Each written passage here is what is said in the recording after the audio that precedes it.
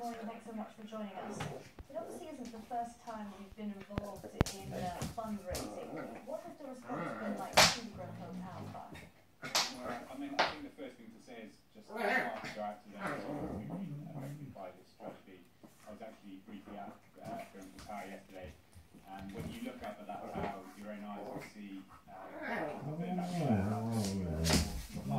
out, and you can only imagine what the community has gone through and is going through that right now. So our massive message to them is, you know, we're with you, we stand with you, and that's certainly been the response that we've seen to this appeal. We launched our um, appeal on Wednesday afternoon.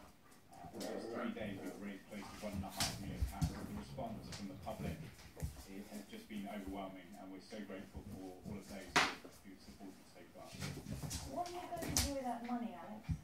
We're working closely with the Kensington and Chelsea Foundation, who are a local organisation who've been established there for well uh, for, for a number of years. Um, they are working closely and coordinating right now as we speak with grassroots organisations to make sure that uh, that money supports um, survivors of this terrible tragedy um, in, in the immediate um, coming days, uh, but also in the kind of medium to long term. Unfortunately, you know, people will have needs